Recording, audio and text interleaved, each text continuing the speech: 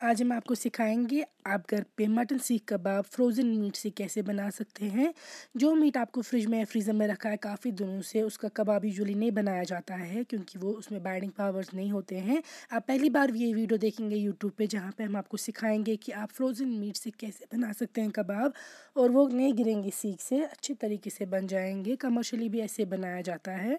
यहाँ पर हमने मटन लिया है माज एक किलो। और आप ये वीडियो पूरा एंड तक देखिएगा। कोई भी स्टेप जो है स्किप नहीं कीजिएगा। हम आपको ट्रिक्स दिखाएँगे इसमें किस तरीके से आपको बाइंड हो जाएगा ये अच्छे से। तो हमने एक किलो मीट लिया है, ये देखिए आप, और ये फ्रोज़न था फ्रिज में। पहले हमने इसको डीप फ्रीज़ किया है अपने तरीके से, जो हमने आपको दिखाया है वीडियो उससे साथ में हमने यहाँ पे लिया है सोया चंक्स या न्यूट्रीज को बोलते हैं, एक कप जो हम चाय का कप पीते हैं, उससे एक कप लिया है हमने। एक के जी मीट को हमें तकरीबन पंद्रह कबाब बन गए थे ये।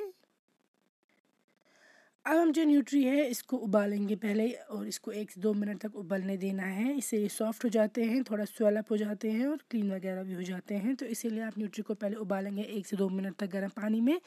फिर आप वो पानी फेंक देंगे और न्यूट्री को हमें फिर स्क्वीज़ करना है। या तो ठंडे पानी से आप पहले इसको रनिंग वाटर से वॉश करेंगे, फिर हमें इसको इस तरीके से निचोड़ना है, सारा पानी स्क्वीज़ करना है। तो आप जब न्यूट्री निकाल के रख देंगे, फिर सारा पानी आप इसको निचोड़ दीजिएगा। और फिर हम इनको एक साथ चॉप करेंगे मीट और न्यूट्री को। तो ये तरीका जो है, ये जो कमर्शियली आप बाज़ार में लाते हैं कबाब उनमें यूज़ किया जाता है। लेकिन ये एक हिडन सीक्रेट है यूजली घर पे हमेशा वाजा बोलता है ये जो मीट है वो फ्रेश होना चाहिए, तब आपके कबाब अच्छे बनेंगे। लेकिन आज आप देखेंगे कैसे फ्रोज़न मीट से भी आप बना सकते हैं कबाब। तो हमने फ़ूड प्रोसेसर में डाल दिया है मीट एक किलो, और इसमें हम डाल देंगे अब ये न्यूट्री जो हमने बॉईल करके निकाल के रख दी। लाल मिर्च या वजल मर्चवांगन एक छोटी चम्मच डालिएगा इसमें। हल्दी या लेदर एक छोटी चम्मच, चार छोटी इलायची निचल के दाने, मीट मसाला एक छोटी चम्मच, अगर आपके पास नहीं है तो गरम मसाला वो भी डाल सकते हैं।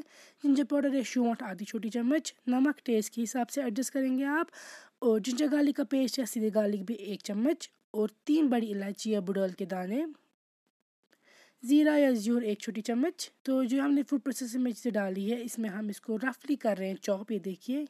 ये रफली चॉप होके मिक्स हो चुके हैं न्यूट्रियो मीट और अब हमें इसको फाइन चॉप करना है, जो कि हम चॉपिंग बोर्ड पे कर रहे हैं। अगर आपके पास घर में चॉपिंग बोर्ड है, आप उससे आसानी से कर सकते हैं। ये देखिए, इस तरीके से आपको करते रहना है, इसको चॉप जब तक नहीं, बहुत फाइन हो जाए। यहाँ पे हम कोरिएंडर फ्रेश कोरिएंडर है, दानवल डाल रहे हैं एक कप इससे इसकी स्मेल भी अच्छी रहेगी टेस्ट भी अच्छा आएगा और टेक्सचर भी अच्छा हो जाएगा। तो यहाँ पे देखिए कितना फाइनली आपको ये चॉप करना है। यहाँ पे थोड़ा मेहनत का काम है, आपको क्या क्योंकि ये फाइनली चॉप होगा, तब अच्छे कबाब बनेंगे। अब देखिए, अब हम निकाल के रख दिया है एक बड़े से प्लेट पे। आप रख सकते हैं या ट्रे पे रामी पे। अब हम डाल रहे हैं इसमें ज़ीरा या ज्यूर, एक छोटी चम्मच। गरम मसाला, दो चम्मच, दो छोटी चम्मच। फिर तीन अंडे हम इसमें डाल रहे हैं थ्री एग्स पूरे अंडे आपको इसमें डाल देने हैं ये।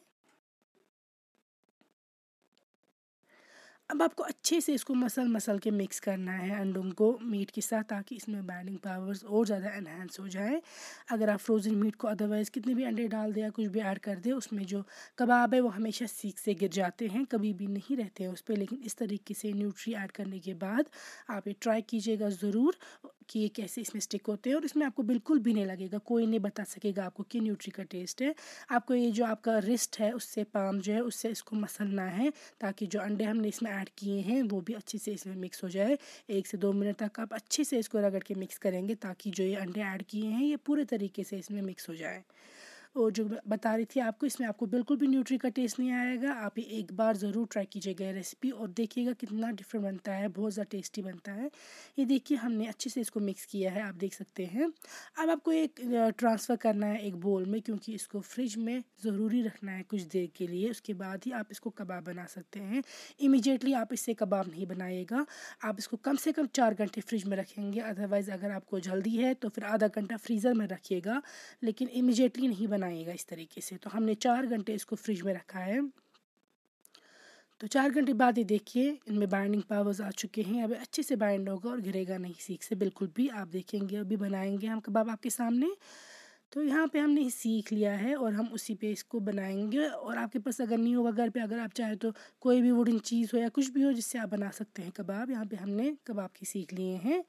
ठंडा पानी आप साथ में रखिएगा हमेशा काफ़ी अवेलेबल क्योंकि इसमें पानी का बहुत यूज़ होता है। पहले आप हाथ को डुबोएँगे पानी में, ये देखिए इस तरीके से। फिर आप इस मीट में से मिन्स में से एक मटन बॉल जो है वो पिंच करेंगे। ज़्यादा बड़ी बॉल नहीं बनाइएगा क्योंकि फिर ज़्यादा मोटा कबाब बन जाएगा और वो अंदर से चांसेस है कि कच्चा रह जाए। एक मीडियम साइज़ बॉल आप पिंच आउट करेंगे। ये देखिए अब फिर से आप हाथ डुबोएँगे पानी में, ठंडा पानी में और अब जो है ये बॉल पहले हमें एक तरह से इस सीख पे बंद कर देंगे, इसको इस तरीके से फोल्ड कर देंगे, स्टिक कर देंगे। ज़्यादा ऊपर की तरफ़ नहीं, नीचे की तरफ़ ही ये देखिए, कर देंगे इसको एक तरीके से बंद और फिर अगले साइड से टर्न कर देंगे सीख को। और अब इस कबाब को आपको लंबा करते जाना है और आपको हर बार साथ में ही पानी में हाथ डुबोना है ताकि ये अच्छी तरीके से स्टिक हो जाए पानी से। ये और अच्छे तरीके से स्टिक होता है तो आपको बार बार इसको हाथ डुबोना है पानी में और लंबा करना है आपको इस कबाब को। जो आपकी चारों फिंगर्स है और जो थम है आपका, उसके मदद से आपको ये लंबे करते जाना है। ये देखिए, इस तरीके से गोल करके आपको लंबा बनाना है ये कबाब। फिर बनाने के बाद आप इसके एजेस जो है वो प्लेन कीजिएगा। और ठंडे पानी में हाथ डाल के फिर इसकी ऊपर की जो सरफेस है कबाब की, वो इवन आउट कीजिएगा इस तरीके से। तो इसमें कुछ भी ऊपर नीचे लम्ब्स नहीं रहेंगे। अब आप इसको गैस पे भी कर सकते हैं तैयार, या तो आप अगर चाहे तो बारबेक्यू की तरह भी तैयार कर सकते हैं सीख पे भी। उस तरीके से तैयार करने के बाद आपको इसको फ्राई करने की ज़रूरत नहीं है। लेकिन अगर आप इसको गैस पे तैयार कर रहे हैं, आपके पास नहीं है ग्रिल तो फिर आप गैस पे तैयार करने के बाद इसको फ्राई ज़रूर कीजिएगा, तब जाके इसको बहुत अच्छा टेस्ट आएगा।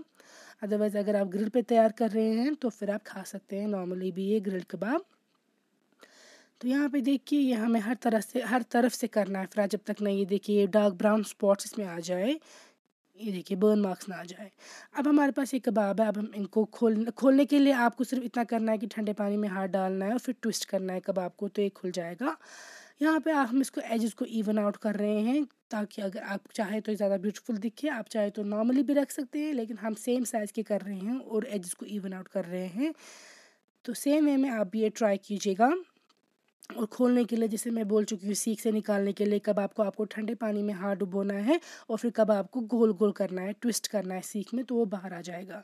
अब हमने एजेस भी काट दिए हैं इसके। हम फ्राई करेंगे। ये हमने लिया है मस्टर्ड ऑयल या कशूर तेल एक फ्राइंग पैन में। ये आपको डीप फ्राई यहाँ पे, इसीलिए अच्छी क्वांटिटी में आपको ऑयल चाहिए यहाँ पे। अब जब ऑयल बहुत गर्म होगा और स्मोक निकल जाएगी, तभी आप ये इसमें ऐड कर दीजिएगा। और ये खाने से पहले बिल्कुल पाँच मिनट पहले आपको फ्राई करने हैं। फ्राई करके ही नहीं रख दीजिएगा काफ़ी टाइम के लिए। अगर आप चाहते हैं आप एक कबाब बना के रखना और बाद में यूज़ करना, वो भी आप कर सकते हैं। आप एक कबाब बना के रख दीजिए। फ्राई करने के बगैर आप जब ये बनाएँगे, सीख से उतारेंगे तो आप किसी भी पॉलीथीन में या जिप लॉक पाउच में इसको रख सकते हैं फ्रीज़र में। तो ये पंद्रह दिन तक आराम से आपको फ्रीज़र में रहेंगे। उसके बाद यूज़ करने से पहले आप इनको इस तरीके से फ्राई करेंगे सेम वे में और फ्राई करके निकाल के खाएँगे। आई एम श्योर आपको ये रेसिपी बहुत पसंद आएगी और काफ़ी ज़्यादा हेल्पफुल है ये क्योंकि घर में काफ़ी बार हमें मीट होता है जो फ्रोज़न होता है और उससे कबाब नहीं बन सकता है। अब आप फ्रोज़न मीट से भी कबाब बना सकते हैं बहुत ही आसानी से घर में तो ये वीडियो ज़रूर ट्राई कीजिएगा।